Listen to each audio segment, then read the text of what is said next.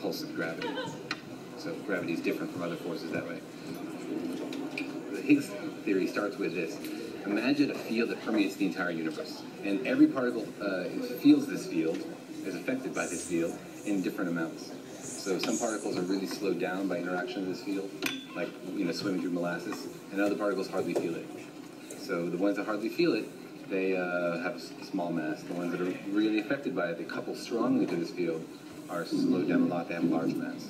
So you turn the question of why do particles have different masses into a different question. Why do particles feel the Higgs field differently? But there is one manifestation of the field is the existence of this particle. So there's lots of different reactions that could give you the Higgs. For example, one is you could have two gluons fuse, give you a Higgs